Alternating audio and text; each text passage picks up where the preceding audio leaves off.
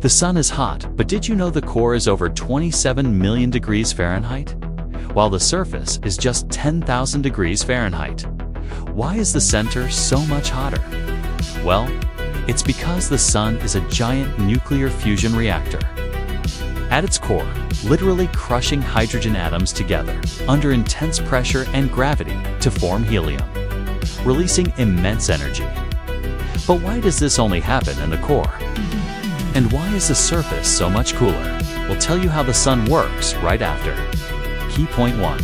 The source of the sun's heat. The sun's core is a nuclear fusion reactor. Here, hydrogen atoms are crushed together under intense pressure and gravity to form helium, releasing immense energy. This only happens in the core because it's where the temperature and pressure are extreme enough. Key point 2 Gravity equals pressure equals heat. The sun's massive gravity pulls everything inward, creating incredible pressure in the core. This pressure heats the gas up to 15 million degrees Fahrenheit. That's 10 times hotter than the surface. And the deeper you go into the sun, the higher the density and temperature. Key point 3. Fusion V's. Fire. The sun isn't burning like fire it's fusing atoms together. This releases millions of times more energy than chemical fire. Key point 4. Why the surface is cooler. The sun's outer layers are cooler because by the time the energy reaches them, it's spread out.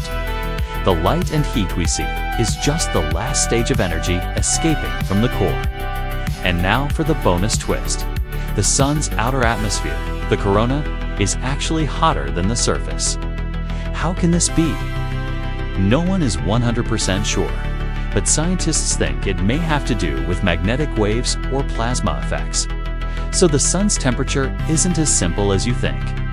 Next time you look at the sun, remember, it's not just a ball of fire in the sky. It's a fusion engine powered by gravity and time. For more videos, science, and history, follow our channel. Thanks.